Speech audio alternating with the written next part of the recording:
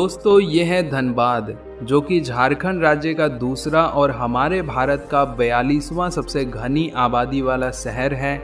आज के समय में धनबाद एक विकासशील नगर के रूप में जाना जाता है, तथा धनबाद जिला झारखंड राज्य के पूर्वी हिस्से में स्थित होने के कारण यह अपनी सीमाएँ पश्चिम बंगाल के पुरुलिया तथा पश्चिम बर्धमान डिस्ट्रिक्ट से साझा करता है। वहीं धनबाद जिला अपने कोयला खदानों के लिए भी पूरे विश्व भर में प्रसिद्ध है, तथा यहाँ के कोयला खदान धनबाद की अर्थव्यवस्था की रीढ़ मानी जाती है। यह खदानें पर्यटन की दृष्टि से भी काफ़ी महत्वपूर्ण हैं, क्योंकि यहाँ पर काफ़ी बड़ी संख्या में पर्यटक इन खदानों को देखने आते हैं।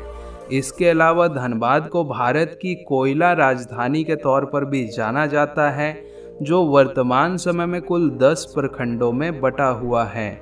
लगभग 2100 वर्ग किलोमीटर के क्षेत्रफल में फैले इस ज़िले की जो कुल आबादी है, वो लगभग छब्बीस दशमलव चौरासी लाख निवासियों की है, तथा इस ज़िले की कुल आबादी में प्रति हज़ार पुरुषों पर सिर्फ़ 909 महिलाएँ हैं। वहीं अगर धार्मिक दृष्टिकोण से देखा जाए तो धनबाद ज़िले में इक्यासी दशमलव बाईस परसेंट हिंदू सत्रह दशमलव दस परसेंट मुस्लिम, ज़ीरो दशमलव पैंसठ परसेंट क्रिश्चन और ज़ीरो दशमलव सैंतालीस परसेंट सिख समुदाय के लोग रहते हैं। वहीं एक सर्वे के मुताबिक धनबाद भारत के उन शहरों में गिना जाता है जहाँ पर 4G की इंटरनेट स्पीड सबसे अधिक है।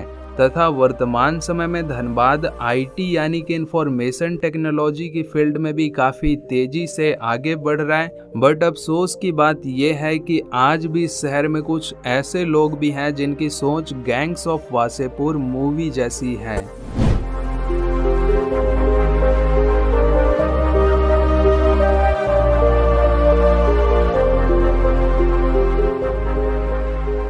धनबाद ज़िले का ट्रांसपोर्ट इंफ्रास्ट्रक्चर। अगर बात की जाए इस ज़िले के ट्रांसपोर्ट व्यवस्था की तो ये ज़िला मुख्य रूप से ट्रांसपोर्टेशन के तीनों पहलुओं से जुड़ा हुआ है, यानी कि रेल, रोड और हवाई मार्ग। जिसमें कि यदि हम रेल मार्ग की बात करें तो Dhanbad rail division, Mumbai division के बाद रेवेन्यू जनरेशन में भारत का दूसरा सबसे बड़ा रेल डिवीज़न है। वहीं धनबाद शहर रेलवे लाइन के माध्यम से भारत के कई बड़े शहरों से जुड़ा हुआ है। रोड मार्ग। धनबाद शहर राष्ट्रीय राजमार्ग 19 और राष्ट्रीय राजमार्ग 18 से जुड़ा हुआ है, जो यहाँ से गुजरने वाली कुछ प्रमुख राजमार्ग हैं।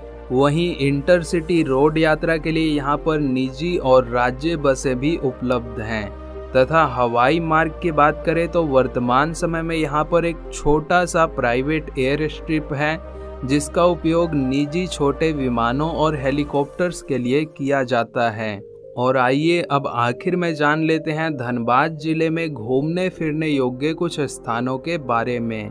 तो यहाँ पर आप Maithon dam, Shakti Mandir, Panchet dam the ozone galleria mall, Bhatinda fall तो चांची लेक और बिरसा मुंडा पार्क जैसी जगहों पर जा सकते हैं।